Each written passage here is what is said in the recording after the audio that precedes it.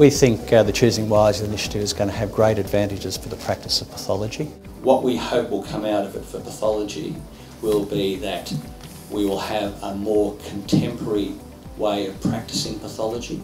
We believe it's an opportunity to uh, address some of the funding issues in pathology, particularly in terms of making the schedule more appropriate to the sort of testing that's being done and should be done in the future. That is one of the real benefits we see from the Choosing Wisely campaign, that there will be opportunities for uh, new tests to be included which are better targeted for the things that we need. We don't want to have people having testing which then sort of leads down false alleys in terms of investigation and uh, I think that's going to be a great advantage for the consumer. Doctors and in, don't understand the role of tumour marker testing, let alone the patients. So when people have cancers, there are certain proteins released into the blood which pathologists can measure.